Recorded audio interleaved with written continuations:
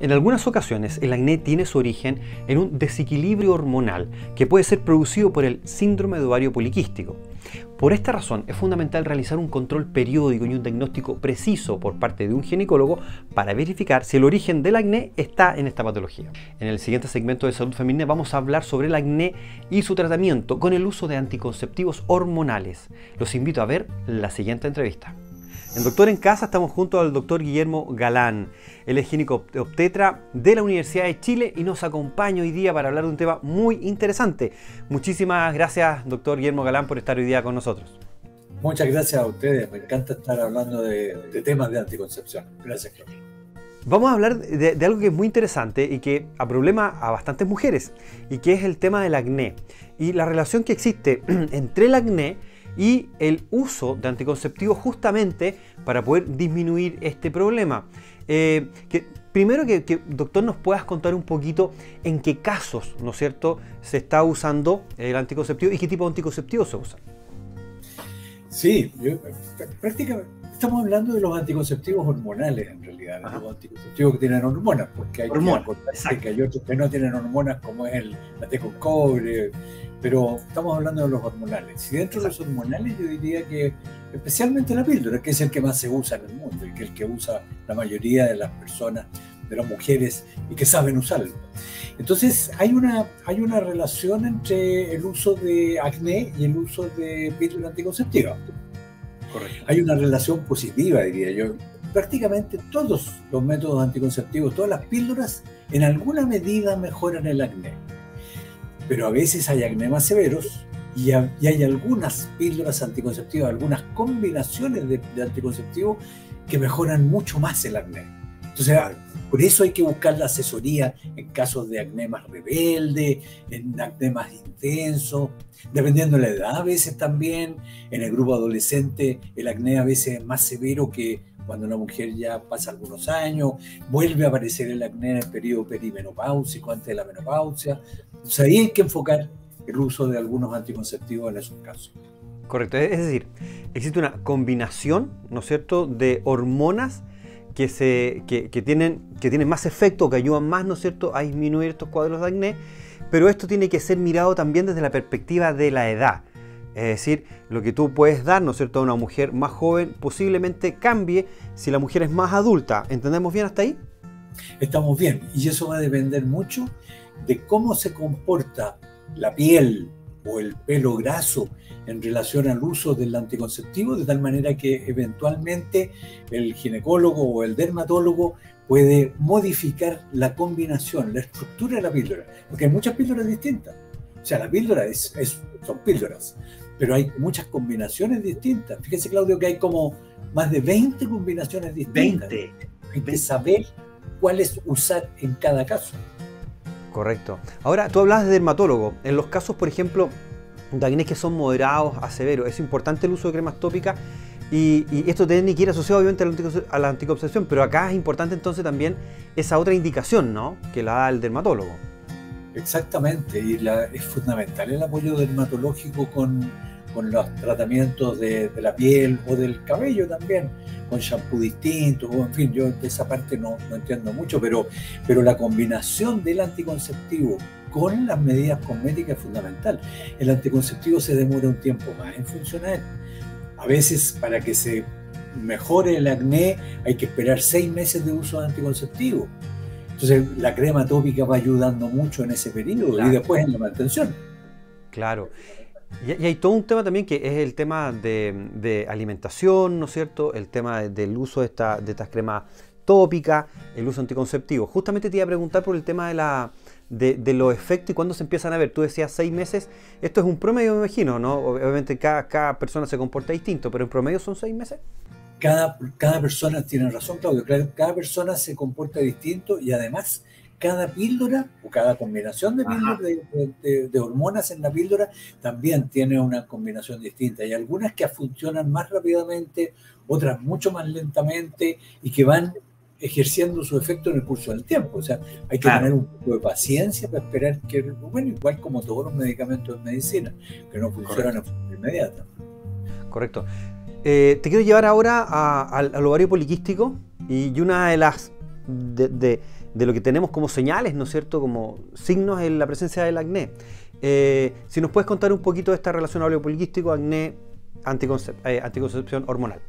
El ovario poliquístico es, una, es una alteración de la función del ovario y de la regulación de la producción de hormonas en el ovario que, que es relativamente frecuente. Yo creo que se hace más diagnóstico de lo que hay pero, pero es relativamente frecuente.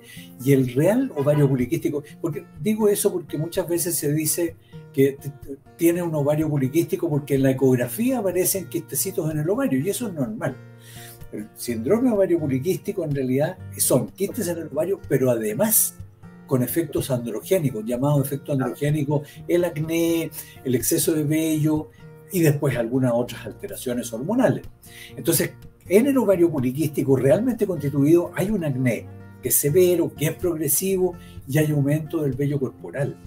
Entonces, eso podemos manejarlo con los distintos anticonceptivos que tenemos bajo nuestro alcance. Doctor Galán, hoy día hay tratamientos, aparte de los anticonceptivos orales hormonales, obviamente, eh, que indican los dermatólogos y que podrían eventualmente tener riesgos teratogénicos. Si nos podría explicar un poquito sobre este tema. Buena, la pregunta porque hay una relación que, hay que aclararla. Eh, hay algunos tratamientos, porque el tratamiento del acné, del hirsutismo, el tratamiento del ovario poliquístico no solo se hace con píldoras anticonceptivas. Hay otros medicamentos que también se usan que son muy eficaces, realmente son, son muy buenos. Pero cuando se usan ese tipo de medicamentos hay que tener cuidado muy, muy fuerte, firme, de no embarazarse porque cuando se usan esos otros medicamentos, puede haber daño en, el, la guaguita, en, el feto, en el embrión, y se producen daños, eh, daños estructurales, en fin, que son bastante graves.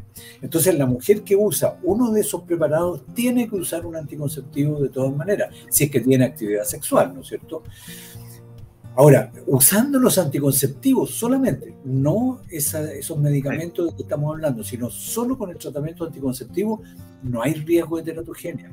el anticonceptivo no aumenta ningún riesgo en general en la mujer, salvo que tenga la mujer alguna enfermedad, que sea hipertensa, por ejemplo, o que tenga más de 35 años y fume.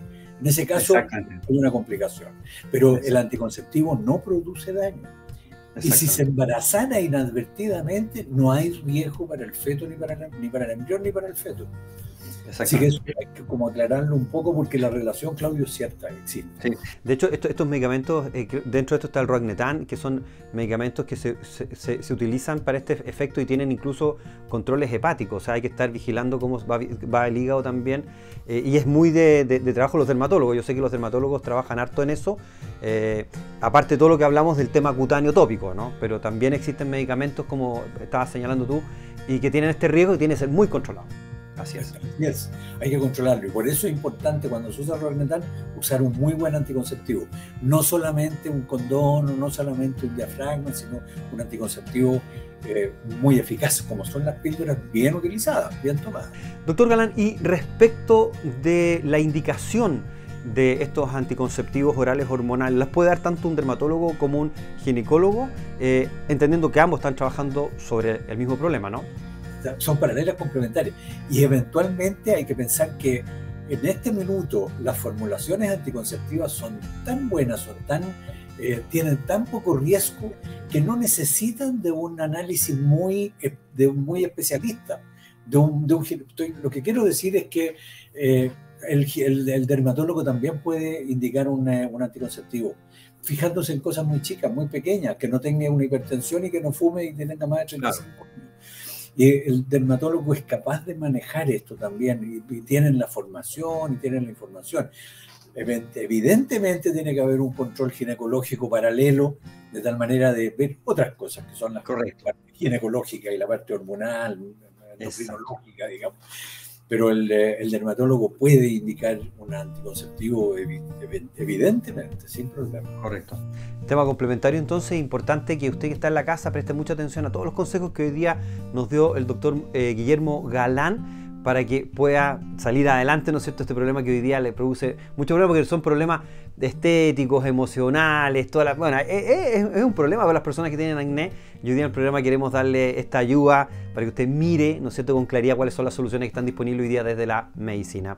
Muchísimas gracias, estimado doctor Galán, por estar hoy día con nosotros en el programa. Y como siempre, un, un agrado tenerlo junto a nosotros educando a todas las personas que ven Doctor en Casa a lo largo y ancho de nuestro país. Ha sido un placer. Muchas gracias por la invitación y gracias por la recepción. Gracias, doctor. Que esté muy bien. Igualmente.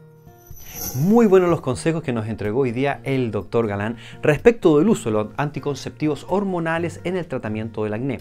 Recuerde que estos deben ser indicados por un ginecólogo, por un médico que conociendo sus problemas de salud indique la combinación adecuada de hormonas que usted necesita. Esperamos que estos consejos puedan ser de mucha utilidad para usted. Hacemos una pausa y volvemos junto a ustedes. Este segmento fue presentado por Receta Solidaria